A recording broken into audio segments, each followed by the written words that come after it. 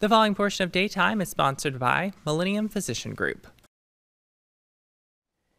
Sleep apnea is a common disorder that we typically associate with loud snoring, but our next guest says it involves much more than that. So here to discuss the symptoms and treatment options is Dr. Nektarios Demetriou with Millennium Physician Group. Thank you for being with us again today, doctor. Thanks for having me. So I think, I mean, like I said, snoring, that's what we think of when we hear sleep apnea, but there's a difference in sleep apnea and what you say is obstructive sleep apnea. Tell me about that. For sure. So sleep apnea has two categories, central and obstructive. Central sleep apnea is where there are faulty signals from the brain in regards to uh, respirations per se. And, and as a result of that, it creates an apneic event, meaning that you, you're not getting enough oxygen. Whereas obstructive sleep apnea is more to do with the uh, physical, uh, the physical distribution of the individual in the sense that if they're overweight, uh, they've got a thick neck circumference, etc. And then as a result of that, when they lie down, when they're sleeping, the muscles in the back of the throat um, are basically softened and they collapse, sort of co obstructing that airway when they're breathing. Hence, you get that resonant noise of snoring, etc. Okay, so I'm sure there's a lot of husbands and wives that think they can diagnose this for their significant other. That's true. But what is the way to actually go about getting a diagnosis? Is it something where people have to go to a sleep lab or see a specialist? Or? Well, you know, first off, to even know, to be aware that there's a presence of sleep apnea is really the question. A lot of the times we actually find out from the spouses where they hear their husband snoring or vice versa. So when that happens, one of the biggest warning signs is when the individual stops breathing in their sleep and they are waking up gasping for air. That's a big, big warning sign. As a result of that, go straight to your doctor to get evaluated.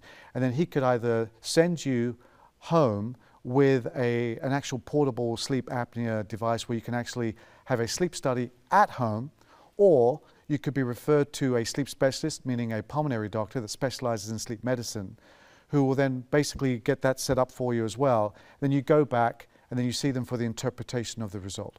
So once someone gets the result, they know what to do. What are the treatment options from there? Typically, um, CPAP, which is a machine that basically uh, gives positive airway pressure in the mouth to keep the airway open so they get oxygen while they're sleeping. But secondly, um, and actually probably even most importantly before CPAP, is losing weight. If you're really? overweight, try to lose Just weight. Just weight loss, that, that alone? In some individuals. I mean, you obviously know if you see somebody walking down the road who's rather obese, you know that person needs to lose weight. If you have somebody who's slim, let's just say, but still has an obstructive sleep apnea, um, then you have to sort of look at why. So it's not going to be a straightforward case. But in typical, in typical terms, the risk factor for sleep apnea is being overweight, thick neck circumference, etc. So if they are overweight, the first step would be to have them lose some weight. So some people may say, well, it's just snoring. I can get past that. It's not that crucial. But there are a lot of other health benefits that come with getting better sleep, right? Absolutely. So it's important to get this checked on. Sleep in itself is regenerative. That's basically where we recharge our batteries. So a good night's sleep means the next day you're ready to go. Obviously, sleep apnea causes a lack of oxygen to the brain and also to the heart and to get circulated to all your other areas of your body.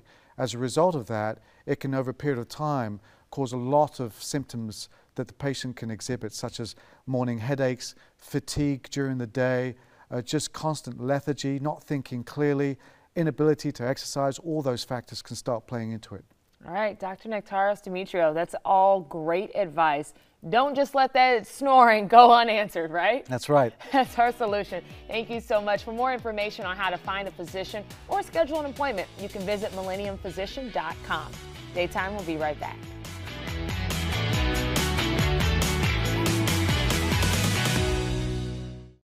The preceding portion of Daytime was sponsored by Millennium Physician Group.